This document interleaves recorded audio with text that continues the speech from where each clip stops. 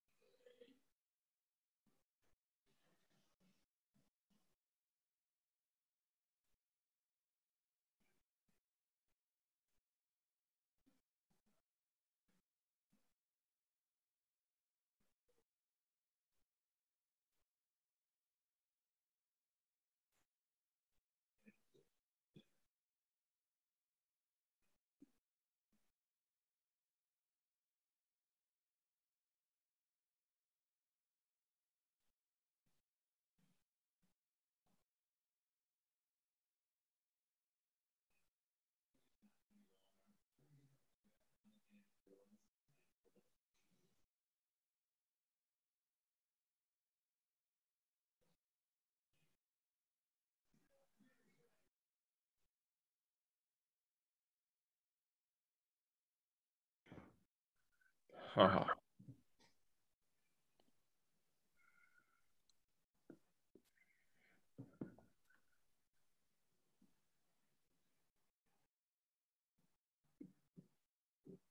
Speaker, speaker, speakers.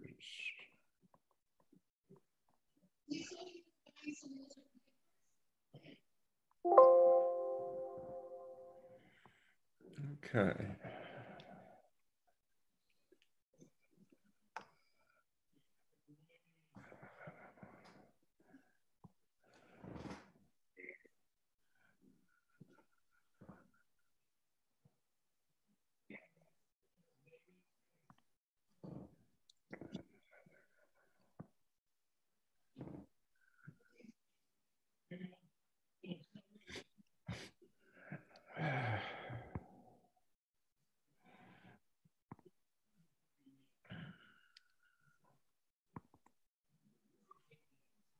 Zoom, Zoom, Zoom, Zoom, Zoom meetings.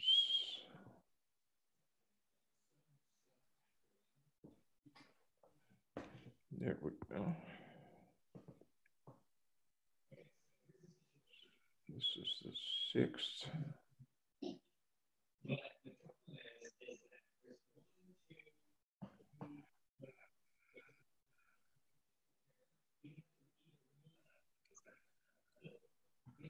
Yep. I need this after all.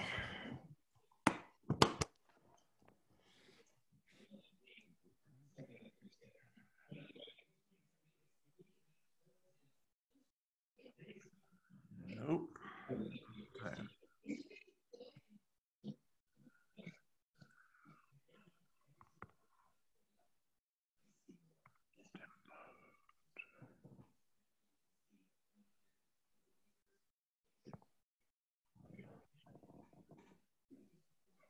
There we go.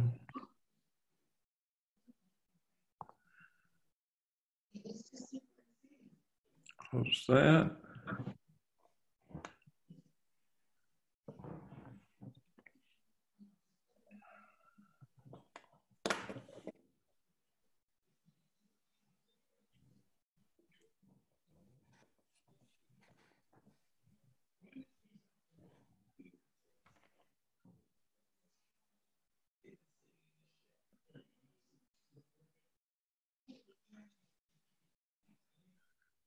I have that chair.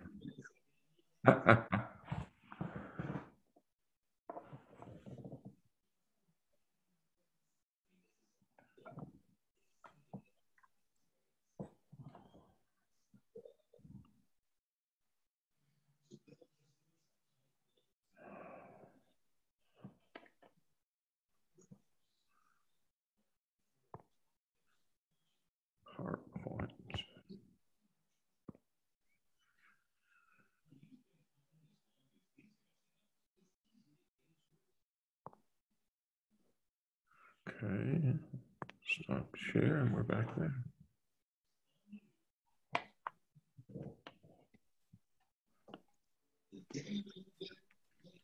Brian, Yes, sir. how you doing? Doing well. How are you? I'm doing fine. Um, I got an email from somebody this afternoon. I don't remember if it was you. I didn't have a chance to get to it. It's been a busy day. Wasn't me. Okay.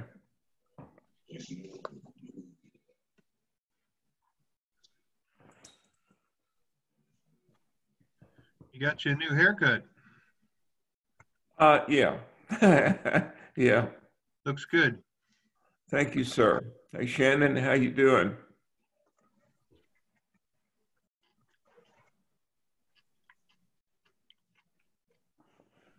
Shannon? I don't think he's got the sound on. You referring to me? I just got it Ah, on. there you go. One of you guys emailed me. Shannon, was it you question asking me about your quiz or?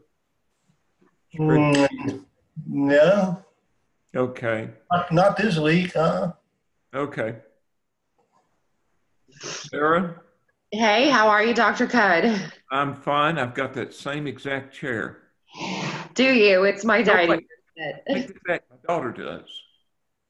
I knew I'd seen it somewhere. My daughter has that same exact chair. Oh, you know, it's a it's a Miss Kelly floor model, so Hey, it works. It looked comfortable. it is. And you'll have to forgive me. I might pop off a little earlier. I'm fighting the crud, which has quickly turned into the plague. Oh At goodness, least two us. I'm sorry. Ryan, were you the one with the flu last week? One of you. Boy, I'm, I'm trying to pin all kinds of things on him.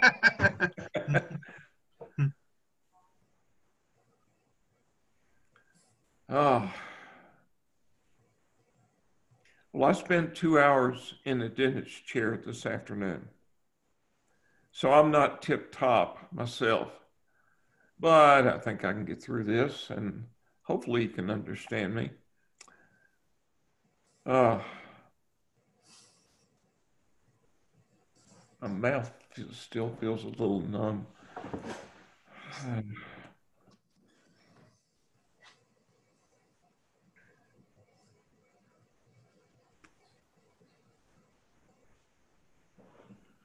Dr. Cudd, Sir, the, um, the, uh, requirements or the things that we're allowed to have for the final exam, are they, they're going to be the same as the midterm was? exactly, Oh, exactly. I got way more notes this time. I'm trying to figure out how to condense them down. Do they have to be typed? I mean, they have to be handwritten? That's what it, it specified. No. No, Okay, specified handwritten last time, and I had them in an Excel spreadsheet, and he said something about it. I said, well, I'm sorry, that's, that's all I have. I'm gonna use them. You can tell Dr. Cudd, or, No, no, no. For your uh, exam aid, it can be. Now, I, I'll tell you what one student tried to do one semester. They tried to take all the slides and reduce them down, and all they got out of it was eye strain. They couldn't read it. It made it so small. I don't guess I ought to laugh at that, but it was funny at the time. Well, Dr. Cudd, I had the same thing on the midterm exam. I had typed notes and they wouldn't let me use them. Really? No. Uh, he used mine anyway. I told him I was gonna use them and report me. And so I scrambled quickly in 10 minutes prior to the midterm exam to try to transcribe as much as possible by hand to use. I am so sorry. I was not aware of that. Um, let's see, what do we use? ProctorU. And I'll tell them they can be typed or handwritten.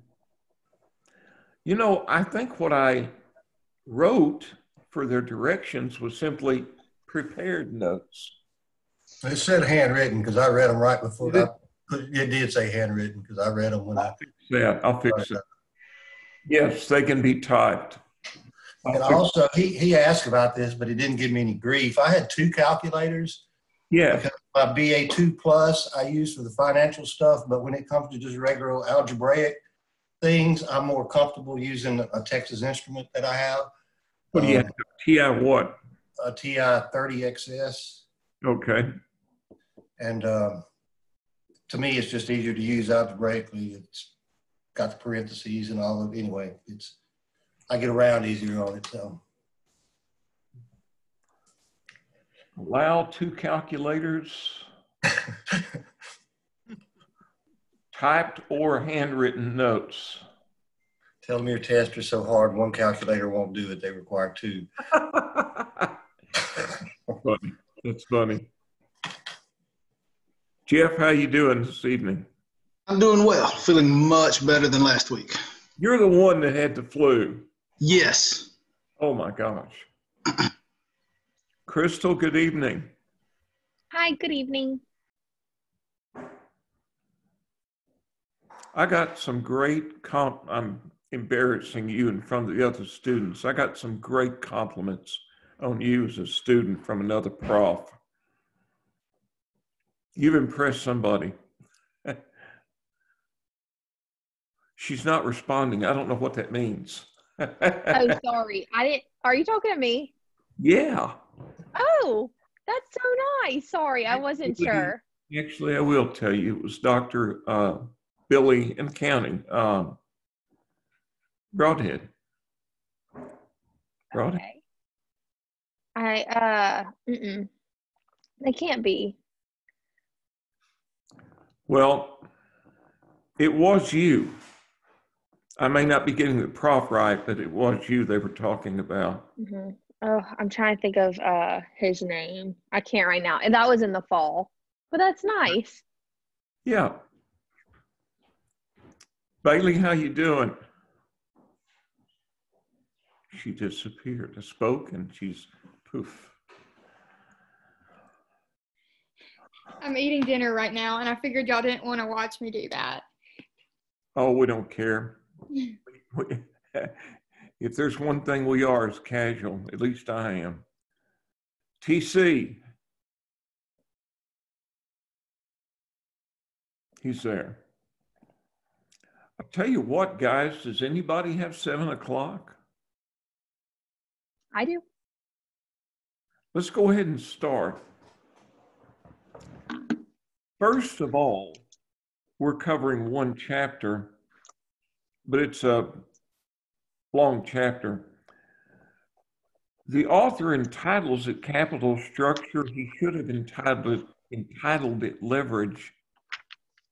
And he didn't give enough emphasis to what I'm going to call operating leverage. So I've added a good bit on the front end. You'll see. Okay, let's see if we can get rolling here.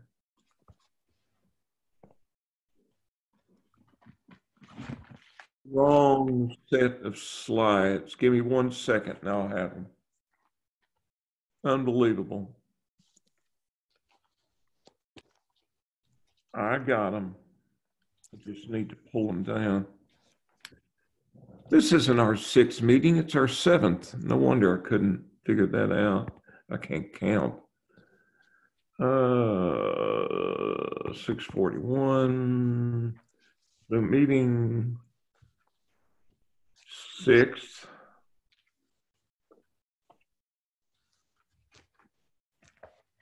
Huh.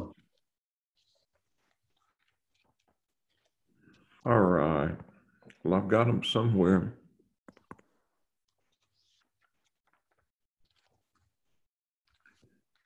Or not. How can this be? All right, guys, give me a second.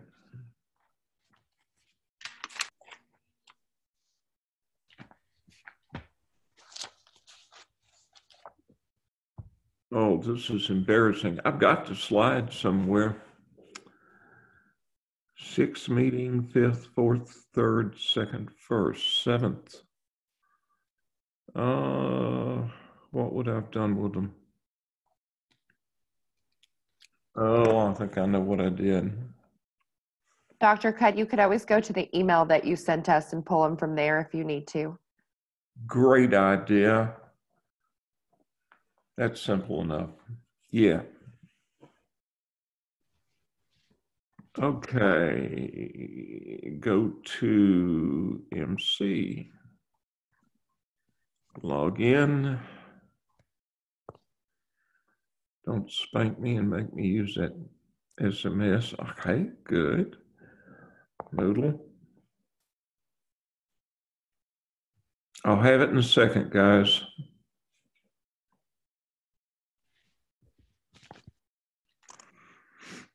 Okay, view history and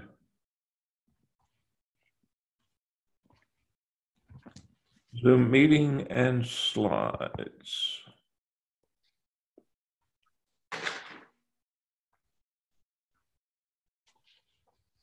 It's going to be funny.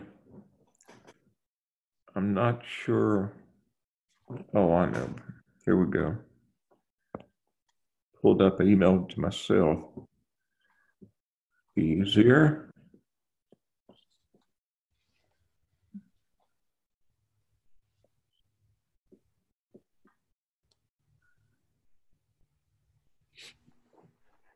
Sorry, guys.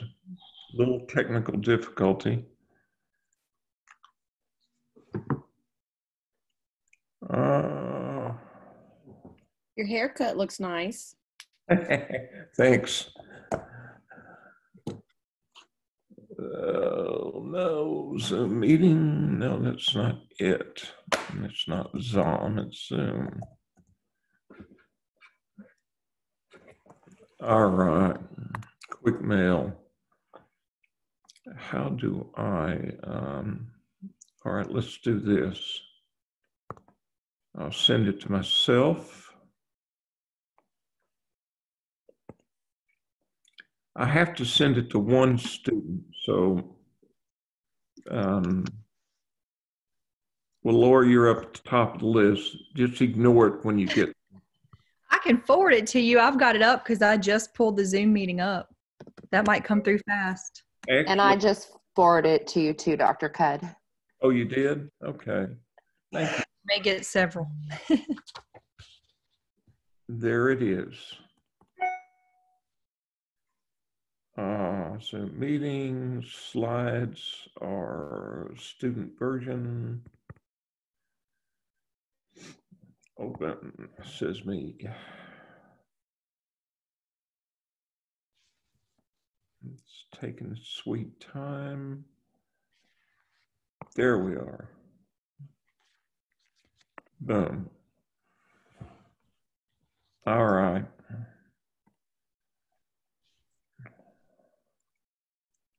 Um, I think I can get rid of all of this.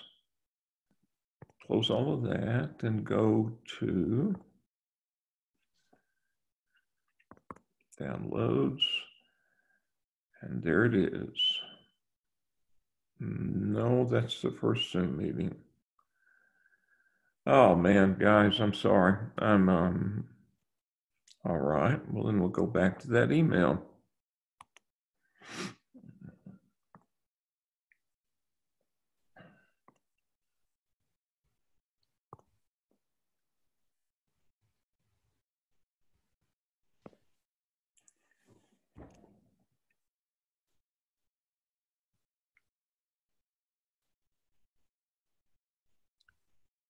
Lori, are you sure you sent me tonight's Zoom uh, slides? That's the ones I pulled up to connect to tonight's meeting. Okay.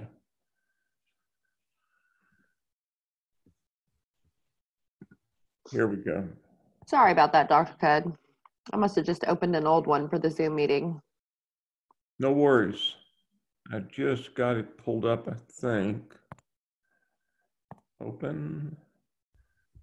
Running security scan. Of course you are. All right.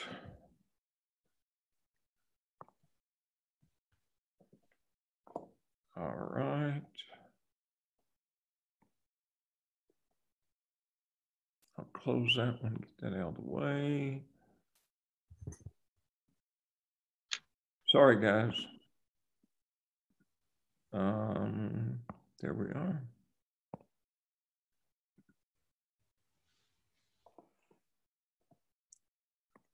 What happened?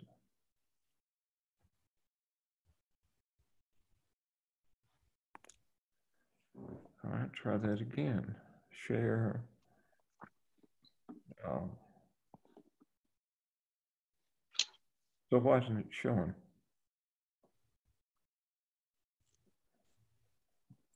Sorry, guys. Um, slight technical difficulty here. It's fine.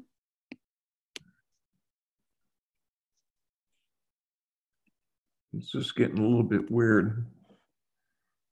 All right, I can pull it up.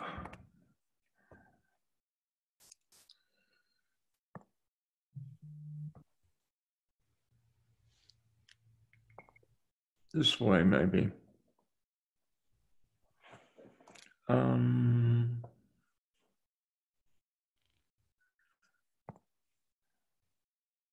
capital structure, where are you?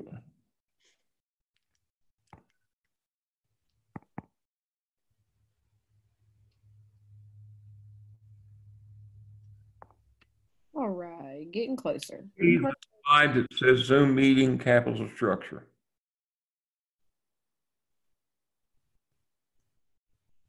Guys, I need a confirmation. Yes, sir. Yeah, yeah, this is, we're good. Leverage. Yep, okay. Concept of leverage. Leverage is a way to magnify profits and unfortunately losses. To a degree, if you increase your leverage, it's like going to Vegas and increasing the size of the bet. If you win, you win bigger. If you lose, you lose bigger. Now, you can increase your leverage by increasing your fixed costs. You basically restructure so that you use more fixed costs and less variable costs. There are two kinds of leverage operating leverage, which refers to fixed costs in operations, and then financial leverage, which refers to fixed costs in financing. The type of leverage the author does not give enough attention to is called operating leverage. It's the use of fixed costs in operations. How can you increase your operating leverage? If you automate, if you switch to robotics. For simplicity, let's assume we're renting the robots. So that's the increase in our fixed costs. And what it saves, if you're automated, is labor costs. Take this very simple example.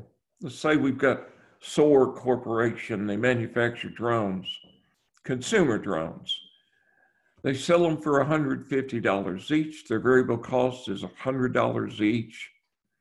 Their fixed costs are 2 million a year, and their forecasted sales are 100,000 drones. So the first question is, what's the expected operating income in the coming year? Operating income is the number of units, that's Q, times price minus variable cost minus fixed cost. You have probably seen this in one of your other courses, but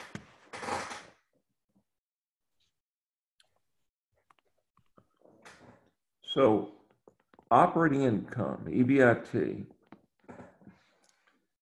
would be the number of units, which in this case is 100,000. What happened here?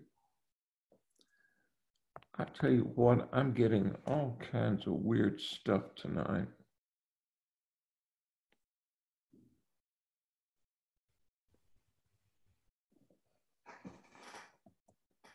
There. And that, okay. I really am. I'm getting strange stuff that I haven't seen before.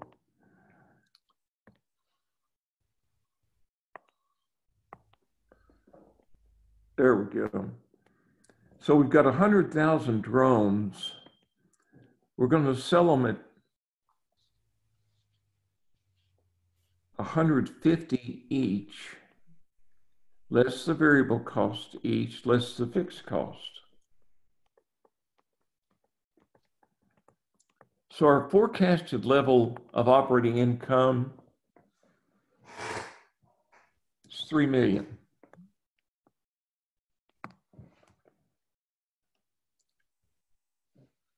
Now, another question is what is the contribution margin? That is, if we produce and sell one more unit, what have we added to operating profit? And that contribution margin is simply the selling price minus the variable cost.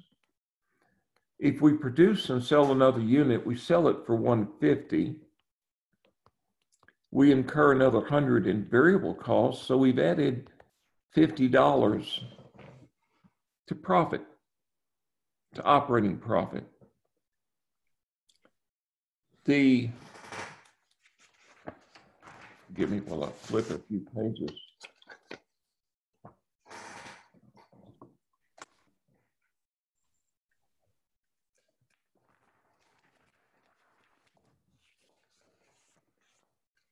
The larger the contribution margin, the greater the company's business risk. And business risk refers to volatility in operating income. So if our contribution margin is 50 bucks, if sales go up by one unit, EBIT, operating profit, goes up by $50. If sales go down by one unit, EBIT drops by $50. The bigger the contribution margin, the more variable will be the EBIT, and therefore the greater the business risk. Tell you what, you've got your slides. I'm not going to keep bouncing back and forth. What happens, EBIT, if sales increase by 10%? Well, for one thing, what would be our revised level of sales?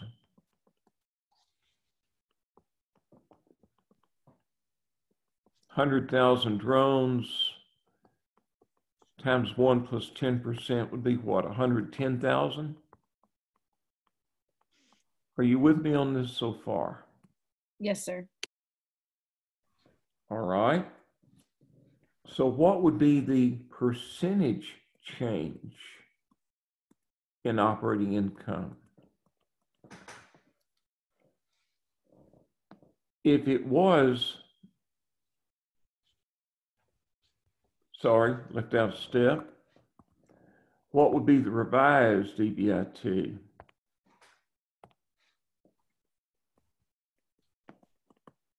If we sell another 10% more drones, 110,000 drones.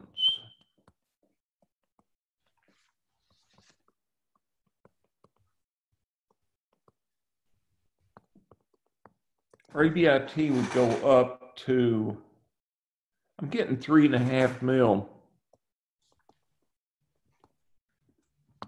Do you increase your forecasted sales? Uh, by 10%. I mean, not, that, um,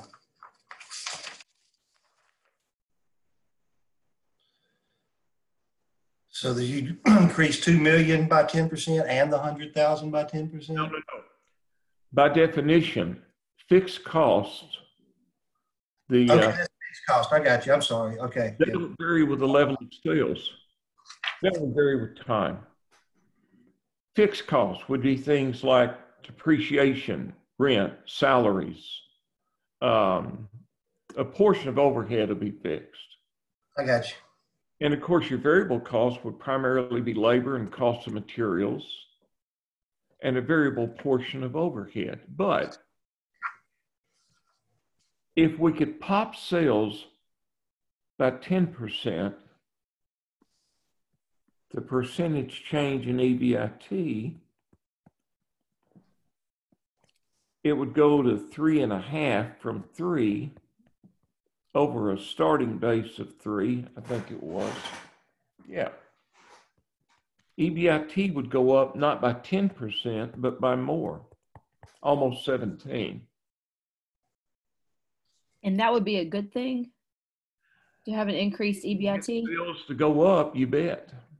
Okay, but that also means that business risk would increase. Is that what you're saying?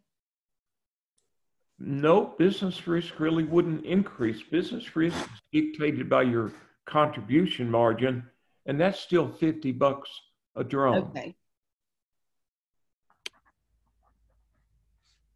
But the key point though is if you can increase sales by 10%, you get an even bigger jump in the EBIT. Now, let's assume, let me go back to the slides and catch up.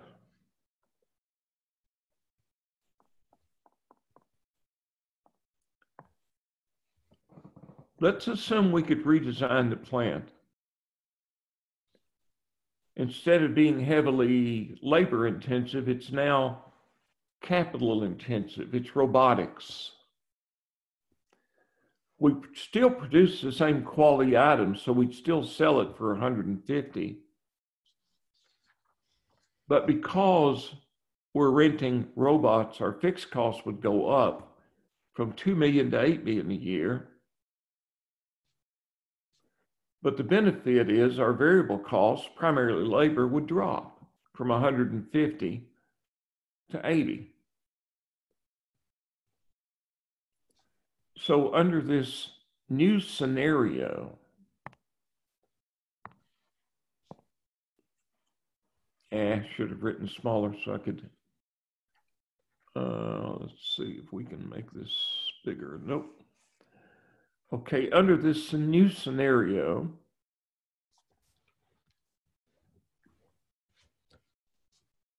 well, I'm going to try to squeeze it in.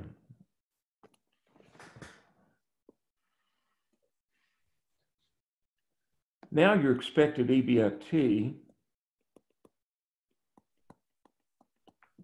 with your original sales level, 100,000 drones,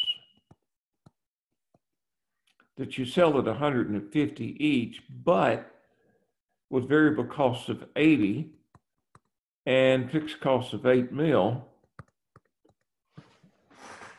this would push your expected EBIT up to 4 mil.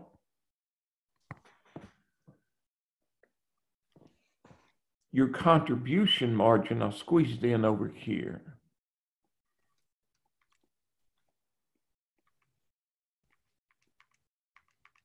Now jumps from 50 to $70 per unit.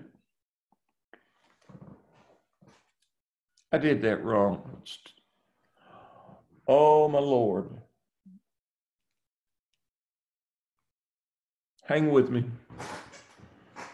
I messed up my numbers, but not yours. Okay. So what would happen with your business risk if your contribution margin has gone up? Business risk would go up. It'd go up. Before, if you sold another unit, you added 50 to operating profit. Now you had 70. Doc- Dr. Cudd, I'm not, I'm not coming up with eight million, uh, excuse me, with the four million there when I. I'm getting Um, Yeah, me too. yeah, I messed up, guys. Give me one second. I'm going to go back and make a correction. Uh, I hate it when I do this. And I do it all the time.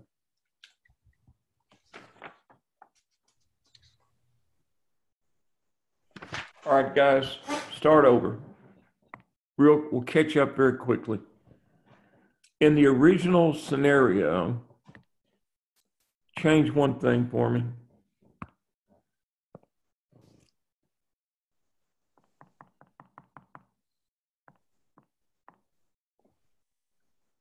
Let's change the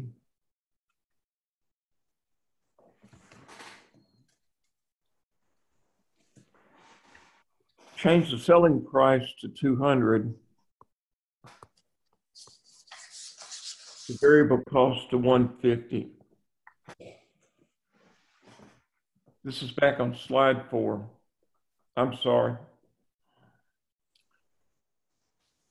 So now with this scenario, where you've got a labor intensive plant because your variable cost is so high. Now,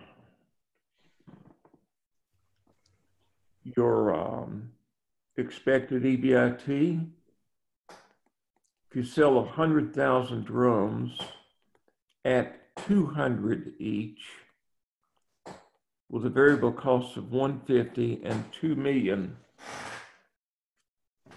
in a uh, fixed cost.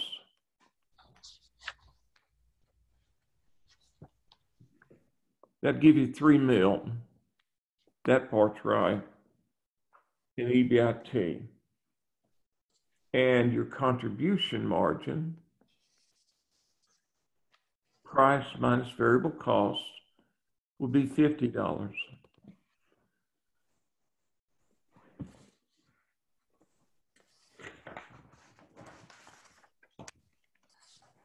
And if sales, yeah, what will I use here?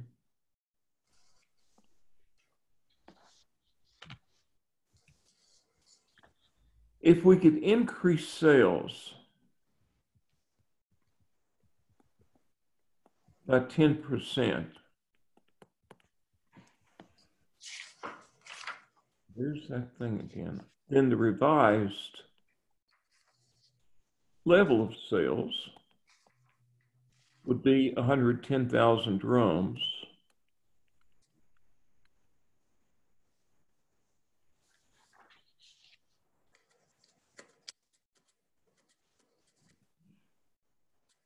And percentage change, ooh,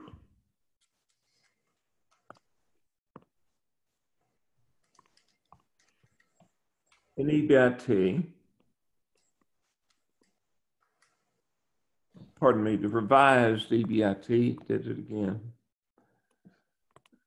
It'll be a wonder if you guys survive tonight. Sorry about all this. The revised EBIT, if now you can sell 10,000 more drones,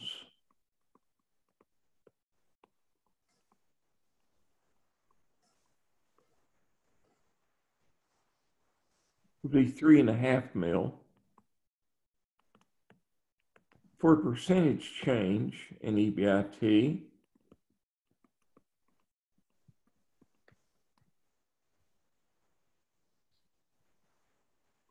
again, 16.7%.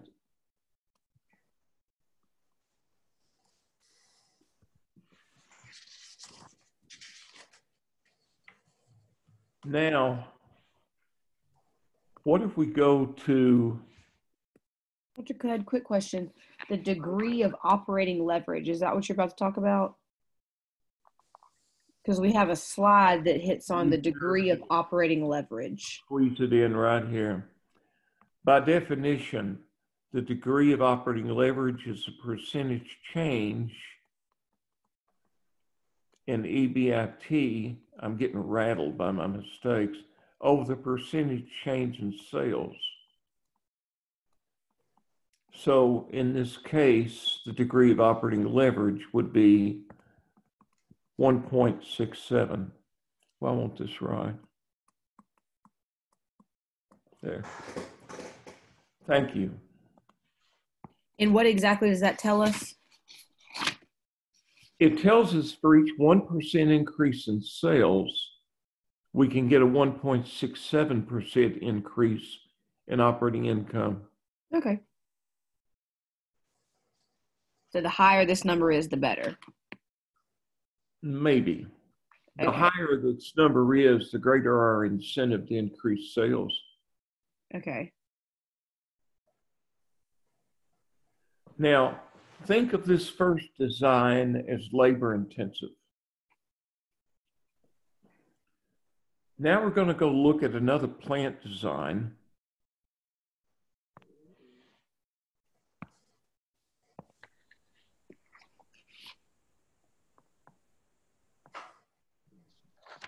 You'd be more efficient at this. And this is, again, I need to change one number. We're selling at 200, right? Yes, sir. Okay. Sorry, guys. With a robotics plant design, we make the same quality drone, so we can still sell it at $200 each. But our variable costs go down because we're saving labor costs. For now, think of renting the robots. And that would drive our fixed costs up from 2 million to 8 million a year. So with this robotics plant design,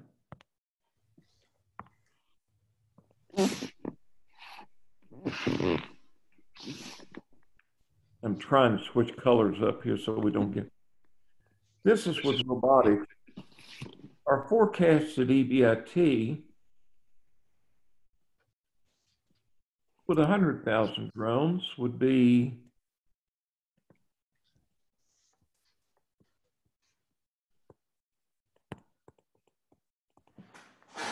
I think that works out to four million. Yes, sir. By the way, before we go any further, based on our forecasts, which plant design should we prefer? Which one gives us more operating income? The upgrade robotics.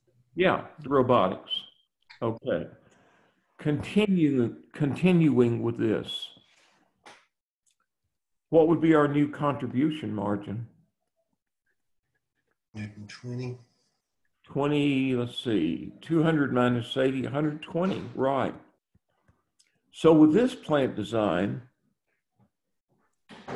for each additional unit we can produce and sell, we add 120 to operating profit instead of 50.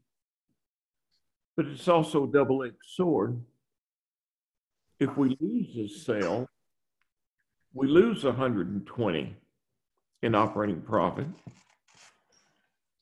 Now, working as we did before, in this situation,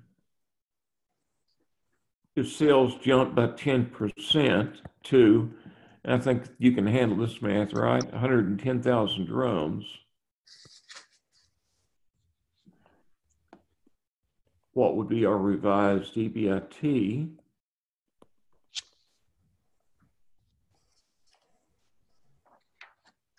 I know a lot of these numbers are dull and boring, but it helps to make a point that I think you'll see in a minute.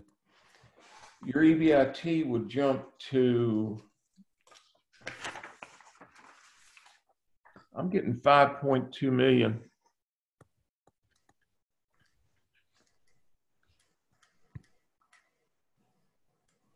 So the percentage change in the EBIT would be jumping from 4 to 5.2.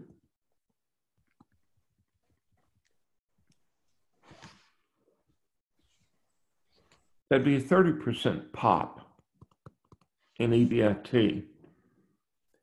Instead of 16.7, it jumped by 30%. And our degree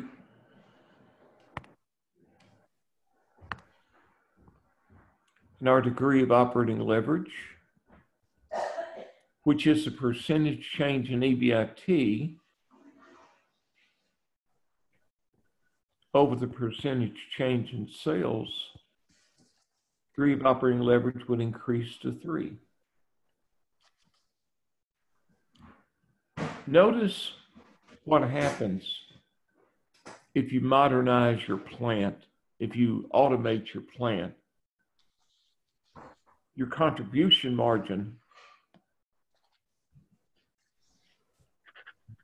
goes up from 50 bucks to 120, which means your business risk goes up.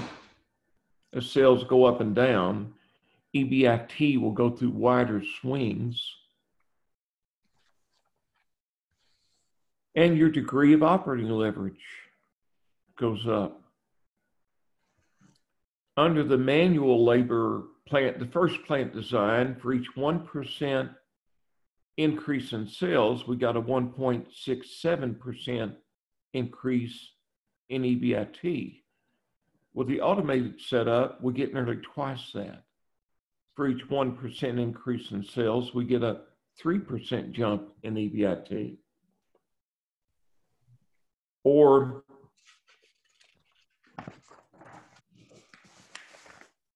Another way to look at it, are we where I can clear this board? Yes, sir. Mm-hmm. All right.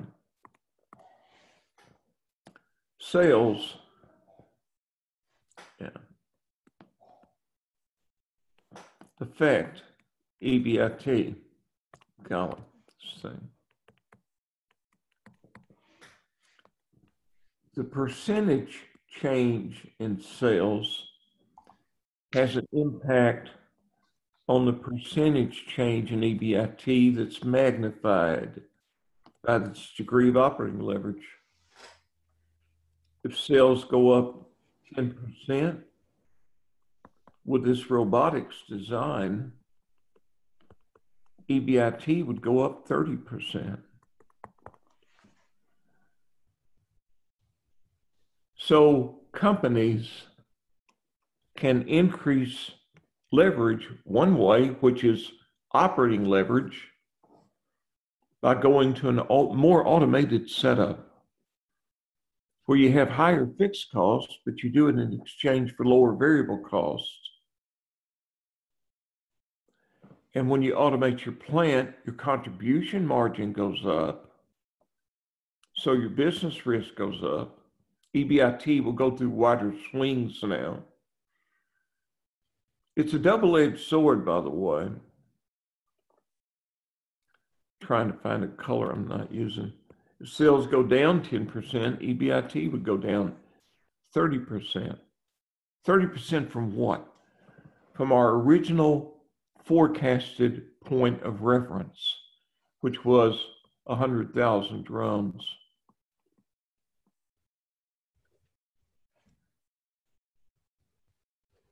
So if we're forecasting sales of 100,000 drones with this automated plant, for each 1% increase we get in sales, we get a 3% increase in EBIT. So tell me something. If a company automates its production process, does it have a greater incentive to advertise?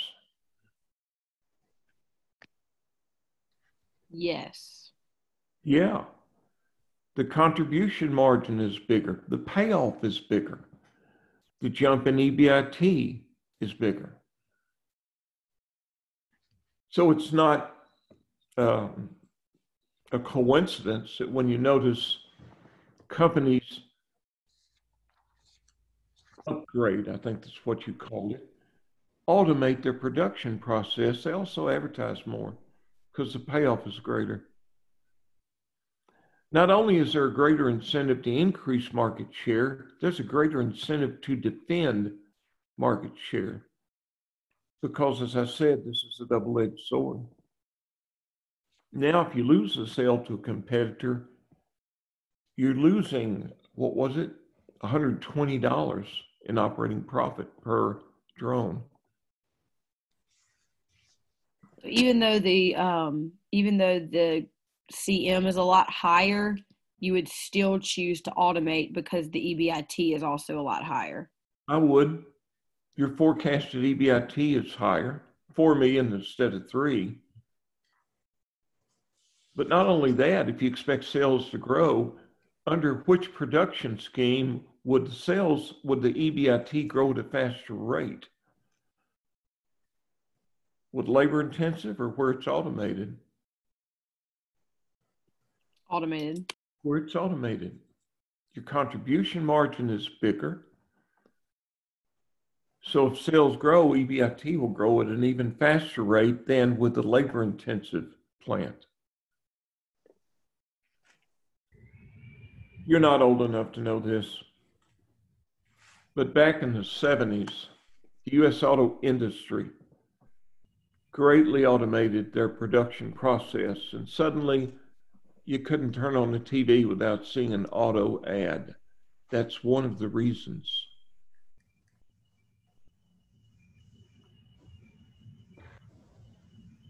And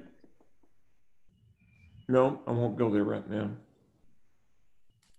Now, there is another concept, it's break even, operating break even.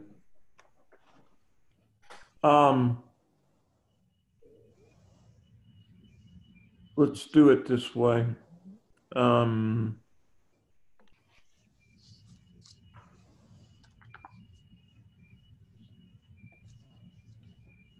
operating break even is the level of sales you need for operating income to break even. Fixed costs divided by price minus variable cost. with a labor intensive plant,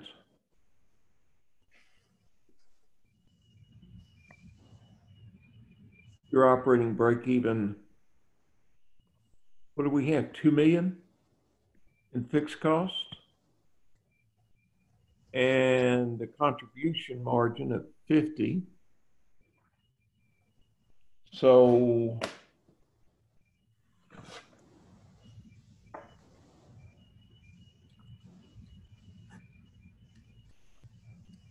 you need to sell 40,000 units, 40,000 drones. What happens to our contribution margin with a robotics plant? Pardon me. What happens to our operating break even with a robot, robotics plant design? Increases. it increases. Now we've got to cover 8 million in fixed costs, but we've got a contribution margin of 120.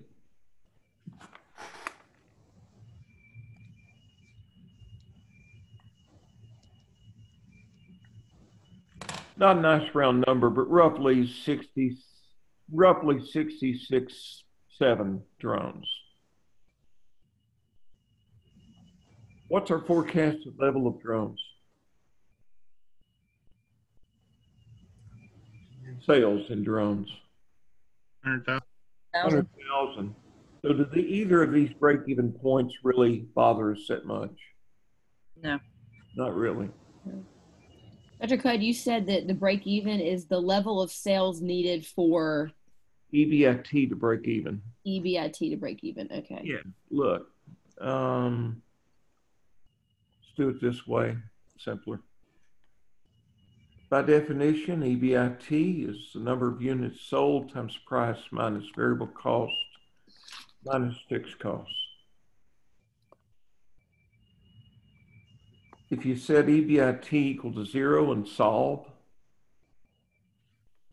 for Q,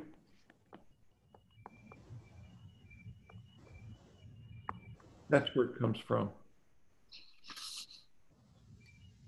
Okay. All right, guys, I am really dropping the ball on this, but that's operating leverage. You increase your operating leverage by moving to where you have more fixed costs and less variable costs by automating.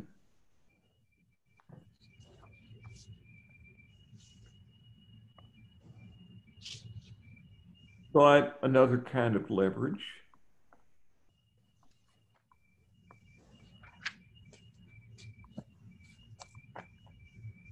is financial leverage. Financial leverage refers to the use of fixed costs in funding. And of course, the primary source of fixed cost funding we think of is debt. Interest expense on debt would be fixed. If you want to increase your financial leverage, just use more debt.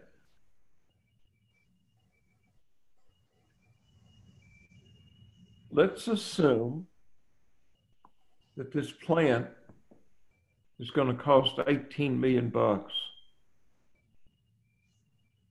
And the initial plan is for it to all come from the owners, all equity, no debt.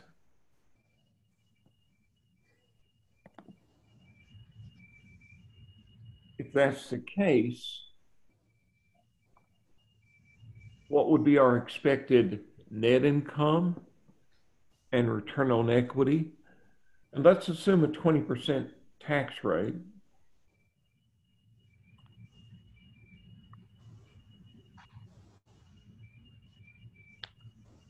Net income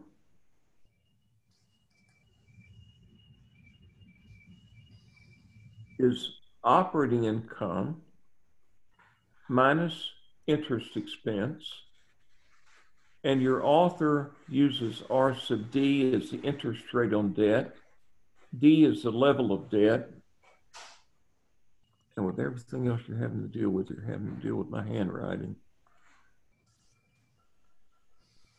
There we go.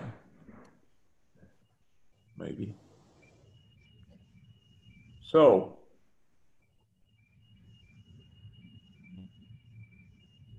And I tell you what, to make things simpler,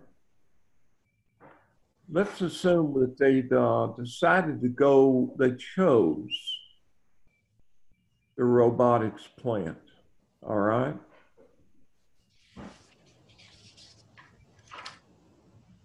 God. Dr. Cudd, you said that the capital D stands for the level of debt. Capital D, yes. That's what your author uses. Okay. And we'll be given that number? Uh, we'll talk about that. Okay. Why is this thing moving on me?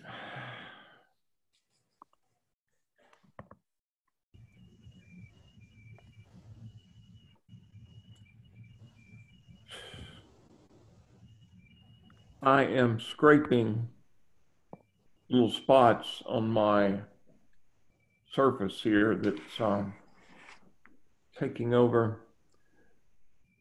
So our original forecasted level of net income would be based on our forecasted level of operating income, EBIT, with the robotics plant. I think that was four mil, right? And if we go with all equity financing, what do we have in interest expense? If we have no debt, interest expense would be zero. And our net income will be 3.2 mil.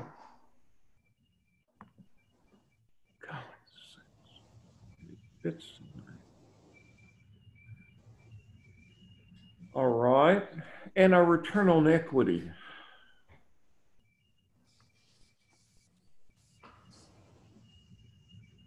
Just net income over equity. So in this case,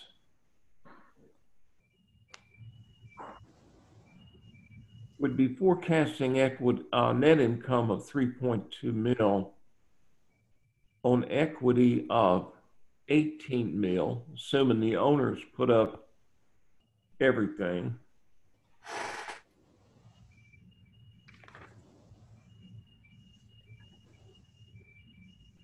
And that's 17.8%.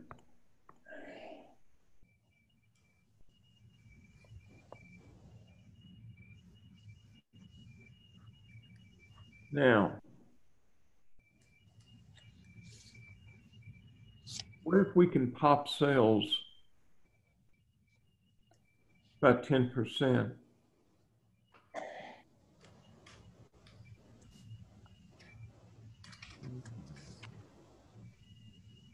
If we have an increase of sales in sales of 10%, that would mean EBIT increases to, what was it earlier? 5.2. 5.2. So now what would be our revised net income?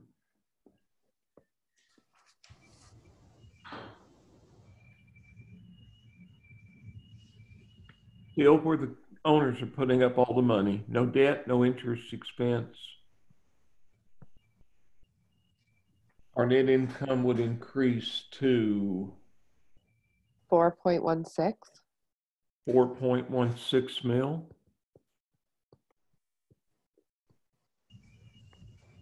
And the percentage change in net income,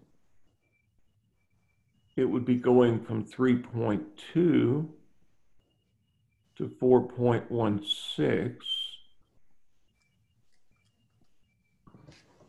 That's a percentage jump of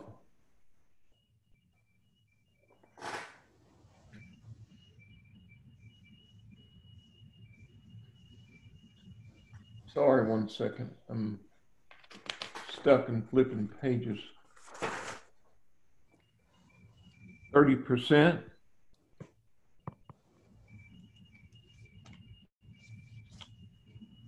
And there is a concept called the degree of financial leverage, which is the percentage change in net income for a percentage change in EBIT. Net income would go up by 30%. And if you recall earlier, if EBIT went up from 4 million to 5.2, that also was an increase of 30%. And your degree of financial leverage would be one. Or another way to look at it, EBIT impacts net income.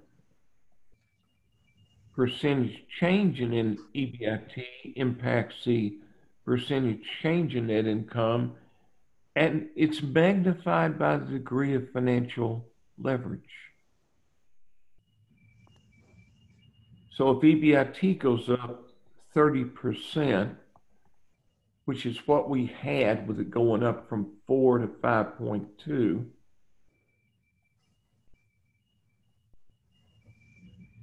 net income would only go up by 30%. There would be no magnification effect because the company doesn't have any debt, they don't have any financial leverage. Now let's assume they're looking at a different capital structure. Instead of funding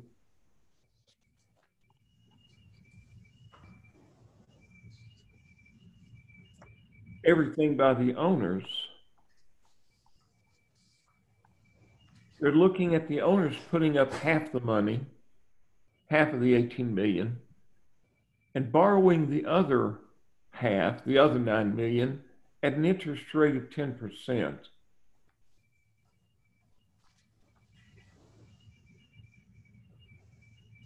If they did this,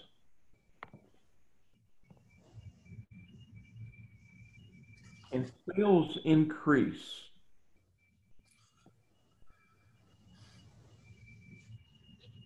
ten percent, which means EBIT with the robotics design increases thirty percent. What would be the revised net income?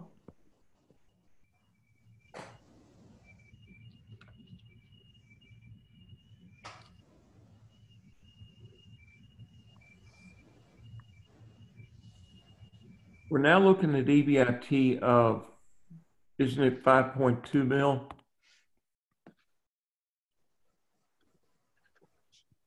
I think so. Yeah. This thing is acting crazy on me.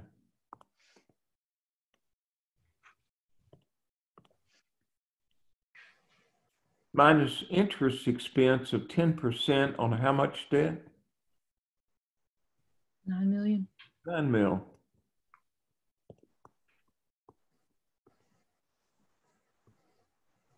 A revised net income would be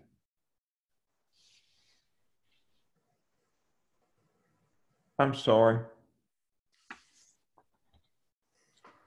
Uh, I need to back up. I'm sorry. First, let's look at the case where we don't have the increase in sales.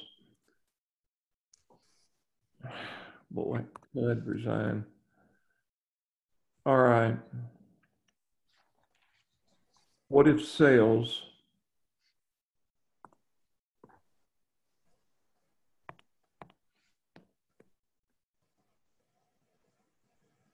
are 100,000 drones,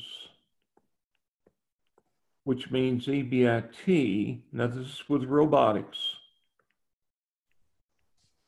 would be, I believe it was 4 mil, was it not? I believe so. Yeah.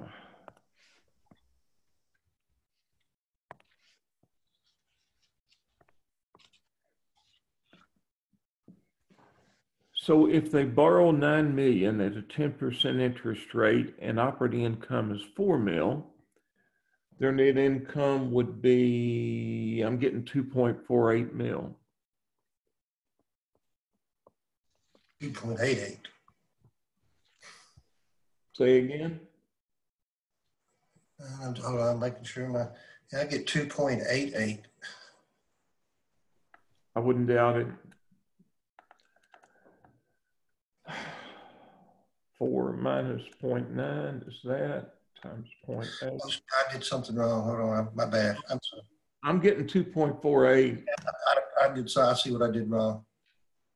Okay. Now, um, and return on equity would be, let's see, we'd be earning 2.48 mil on how much equity?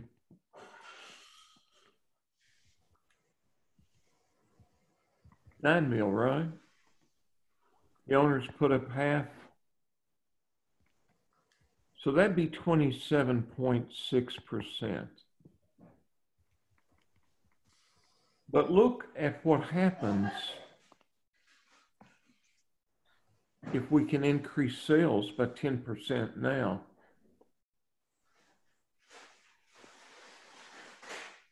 If sales increase 10% to 110,000 drums,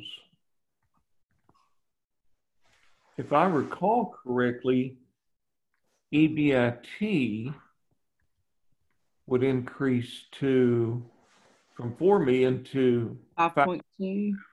yeah.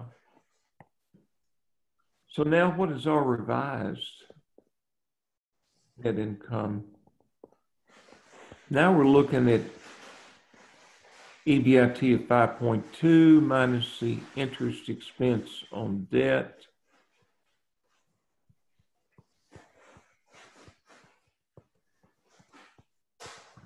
Now our net income jumps to, I'm getting 3.44 mil.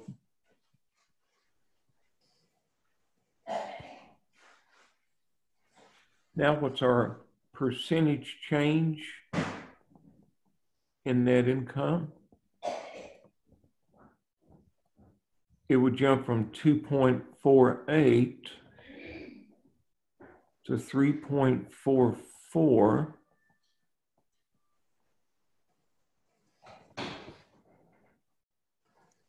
Now I'm getting a 38.7% change in net income.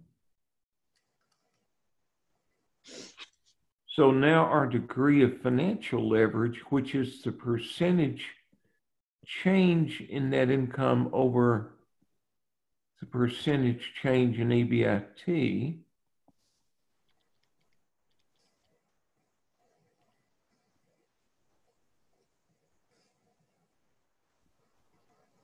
Is that a DFL or is that the delta?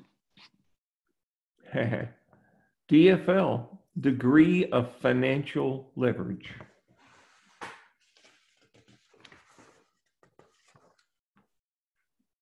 And I'm getting 1.29.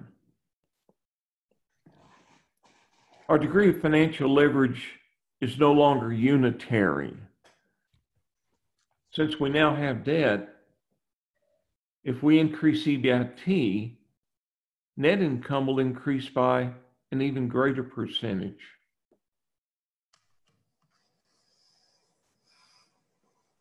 Let me show you the net effect.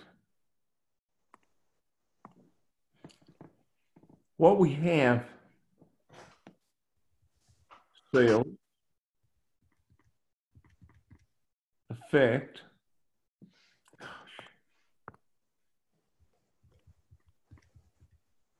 operating income, which affects net income.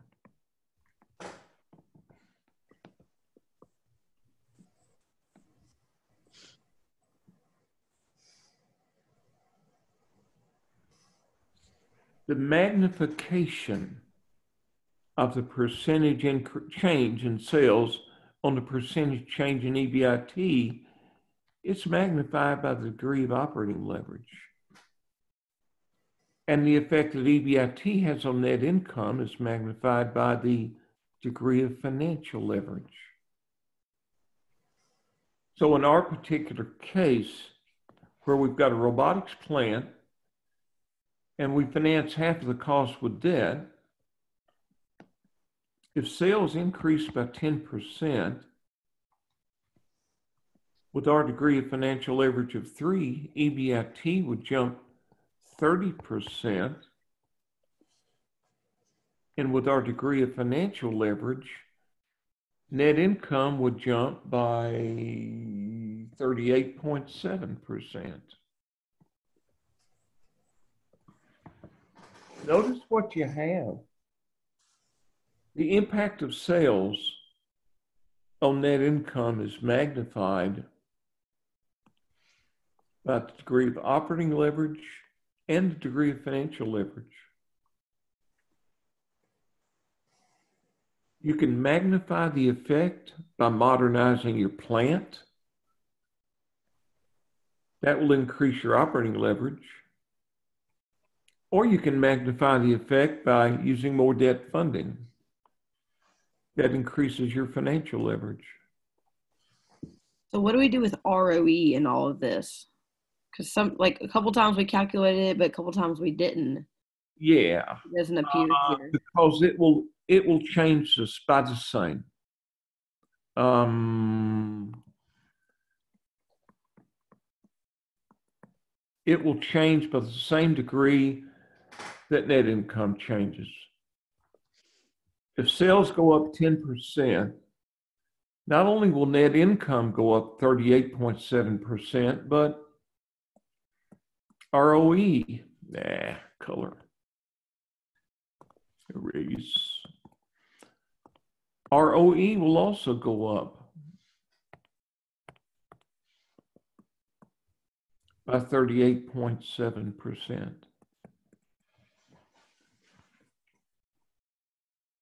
It's almost irrelevant. You can just focus on net income. Shareholder profits.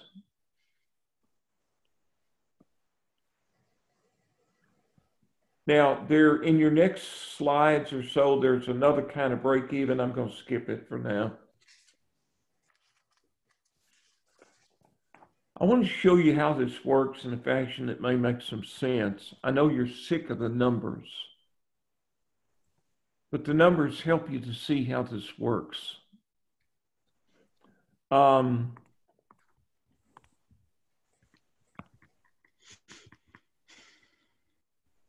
Let's talk about the degree of financial and operating leverage.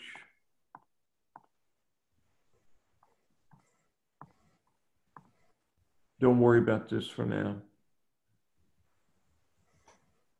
You could say there's something called the degree of total leverage that's a product.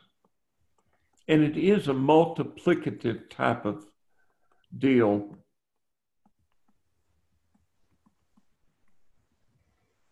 In our, golly.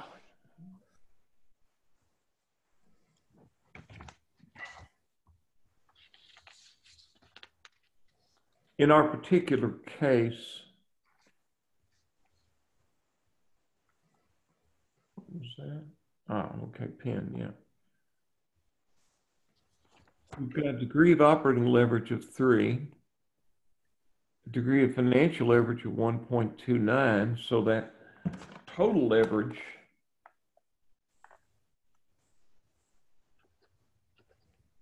is 3.87. And we could define the degree of total leverage as the percentage change in net income for percentage change in sales. If sales go up 10%, our net income went up 38.7%. It just shows a combined effect.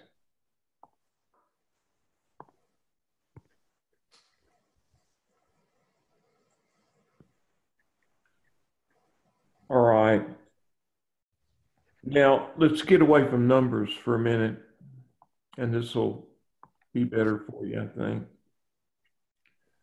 I'm going to, Is that again uh, for each one degree increase in sales that we've got the 3.87% increase? for each 1% increase in 1% sales, increase in sales, we've got 0.87% increase in net income. net income. Okay. Guys, that's why when a company's sales change a little bit, the stock goes wild. The magnification effect. Um, all right, look. Try to bear with me. Let's take a company like Ford, and we're going to characterize it its total leverage as a product of operating leverage and financial leverage. Now, Ford produces and sells automobiles, consumer durables. I don't know if you remember from economics, but it's the consumer durables component of spending that's so volatile when we go into recession, people don't put off buying food, they put off replacing their car. So Ford already faces a lot of risk from the uncertainty in its sales because it's selling a consumer durable. Yet you can't make cars without using robotics. You can't make them cost effectively. Now, if you'll notice, total leverage is a product of operating leverage and financial leverage. If because Ford already faces so much risk from the uncertainty in its sales, it can't afford to build in a lot more risk. So it wants to keep its total leverage low. And yet, because it's a manufacturer and has to invest in a lot of equipment that has high fixed cost, by the nature of the industry, its operating leverage has to be high. So, what does that leave for financial leverage? And you need to think of this as a plug figure. For this to work out, for its total leverage to be low, see, leverage is a source of risk. Uncertainty in sales is a source of risk. Ford already has too much risk from the uncertainty in sales to build in a lot of leverage. So it wants to keep its leverage low, yet it's forced by the nature of the industry to have high operating leverage. So, what does that mean in terms of financial leverage? It's got to be really, really low. If you look around from one industry to the next, you'll find debt ratios among auto producers are among the lowest of any industry. 10 to 15% based on market value is pretty common. Now, if you wanted to see this in terms of a graph,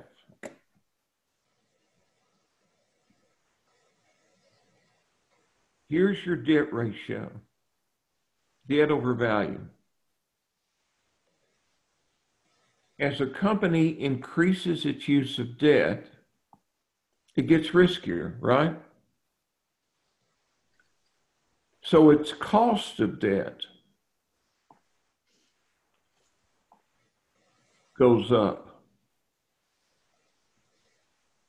Lenders faced with a company with more debt look at it as being riskier, so they charge a higher interest rate. And just as it's riskier for the creditors, it's also riskier for the stockholders.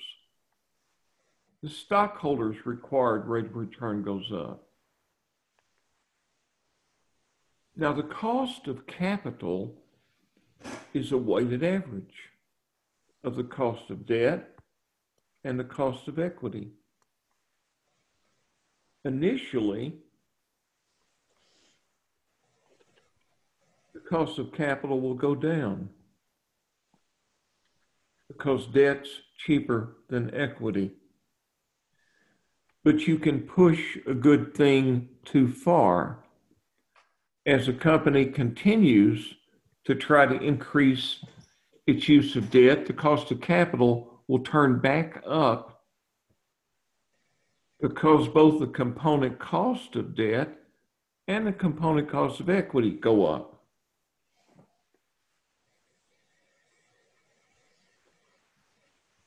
Where do corporations want to be on that WACC schedule? They want to minimize the cost of capital because that'll maximize the value of their, their stock.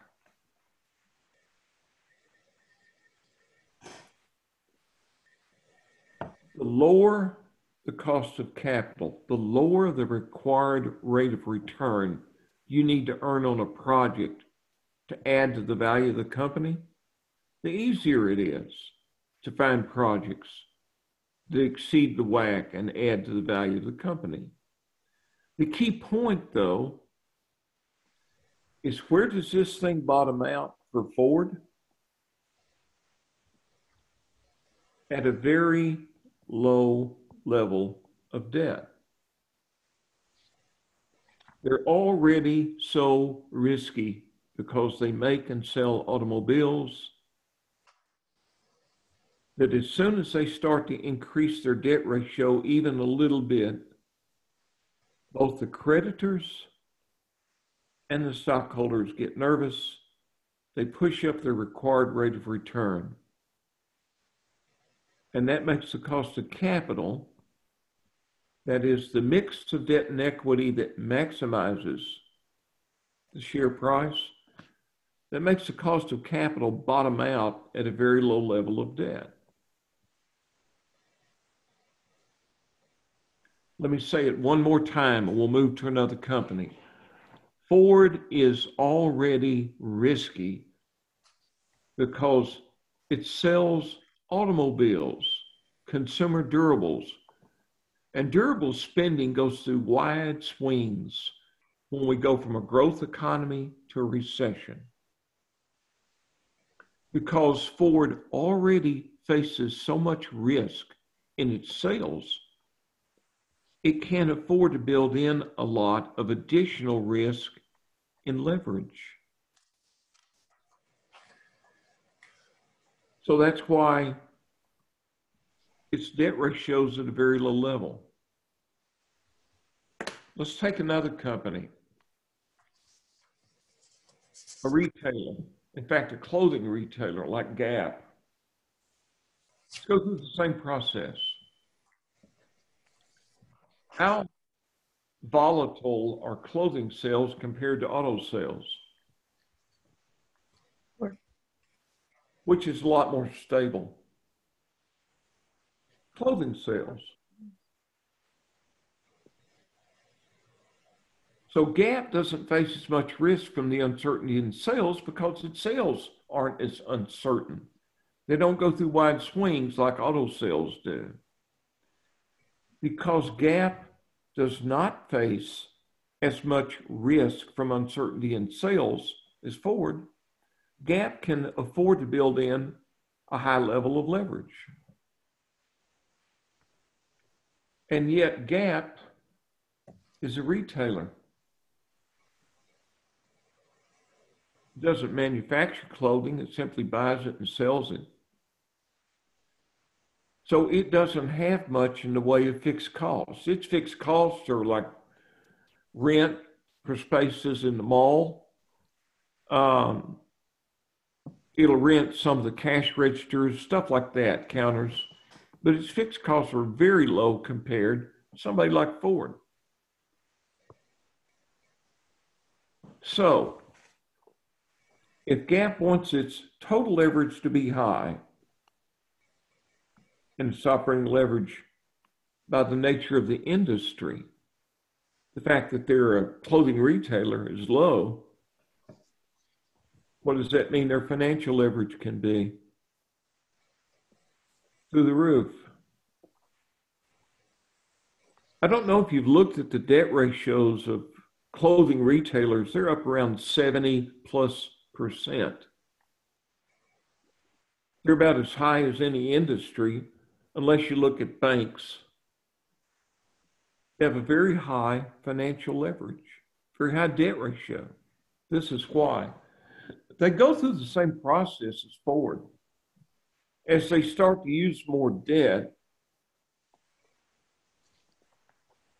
their cost of debt will eventually turn up, and the stockholders, because of the increased risk, will eventually get nervous and require a higher return. But this doesn't happen until Gap hits a really high debt ratio. it's at a half a very high debt ratio that their cost of capital is minimized and the stock price is maximized. One more company. Electric utilities like Entergy. Only let's go around this, go about this backwards.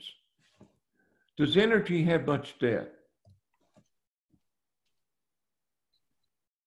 Have you looked at the debt ratios for electric utilities? No, sir. They are really high 60, 70 plus percent.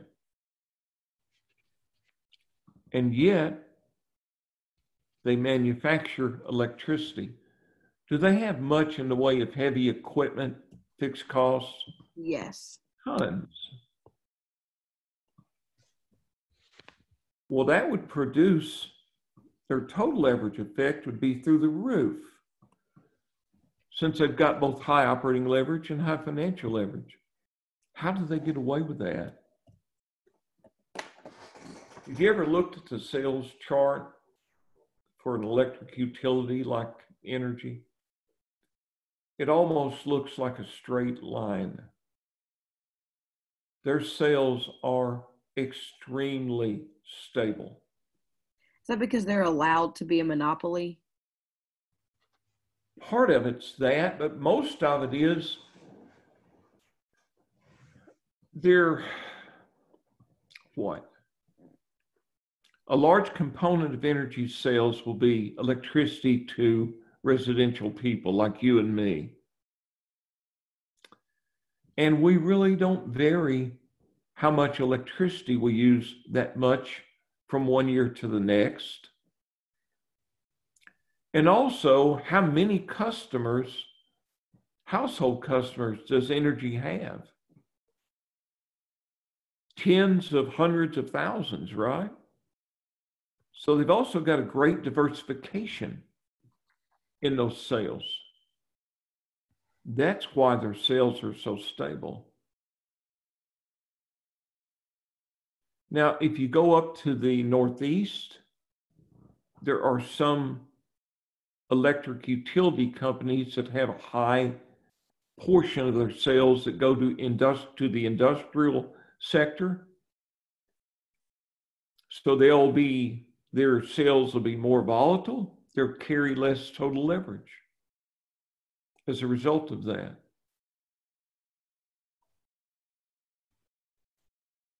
Are you guys with me on this so far?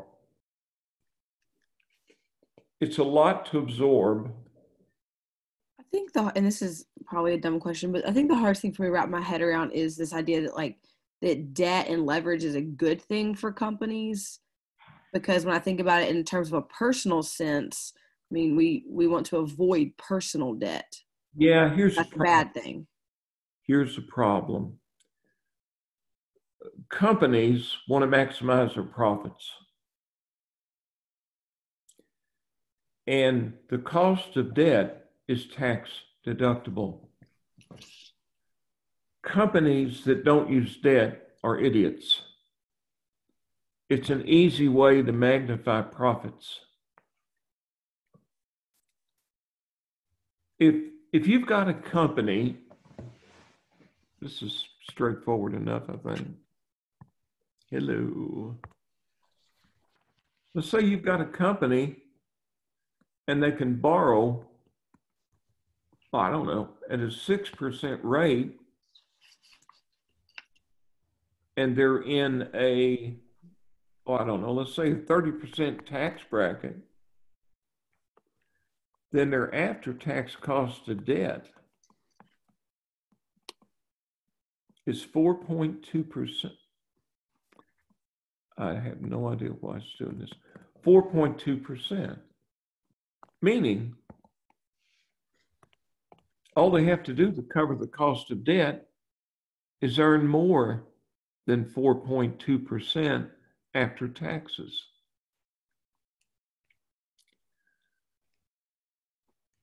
Or let's go back to the one of our earlier examples. Here's your electric utility. All right. What if they decided we want to play it safe, have no debt? Um, this is a bad graph. Give me a second. Let me back up a couple. Yeah. I've got something in the way with everyone. Here we go.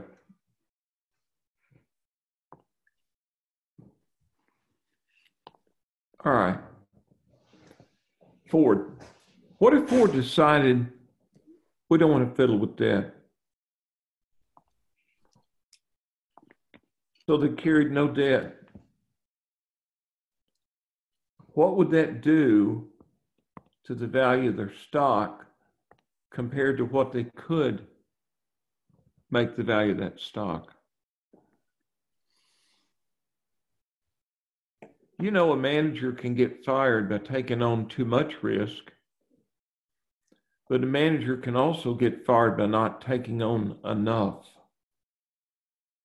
What is our goal in terms of the price of the stock? We want to maximize it. You don't do that by carrying zero debt.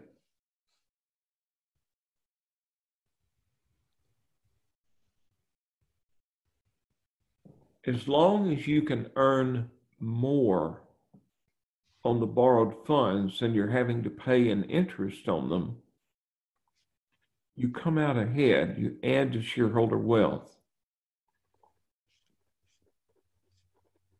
I do understand your point. You have a very good point. But the catch is in industry,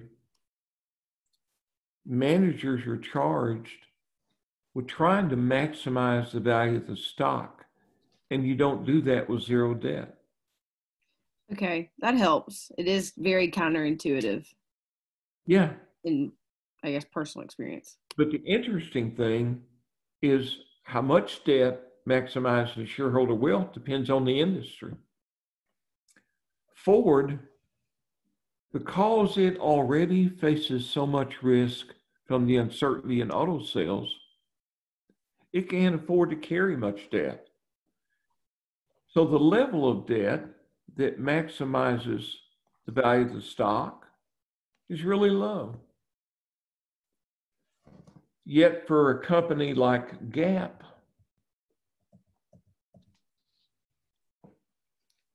the level of debt that maximizes the value of the stock is very high. Gap does not have much risk from uncertainty in sales, nothing like Ford. So we can afford to build in a lot of leverage. In fact, if it doesn't, it's not maximizing the value of the stock.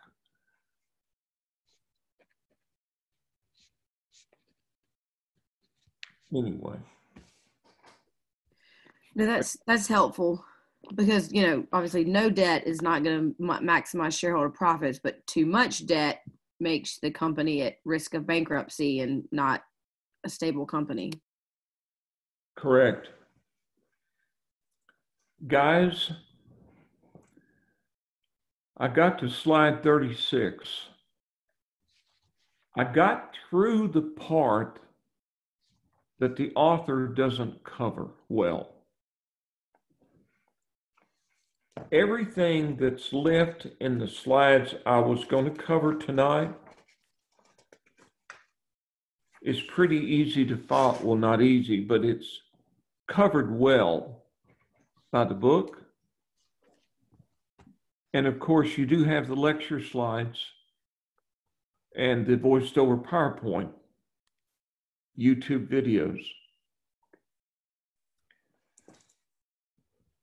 We have gone about an hour and a half, and to be quite honest with you, face to face. I sat in the dentist chair for two hours late this afternoon. My mouth is killing me. Would it be okay if we adjourn at this point?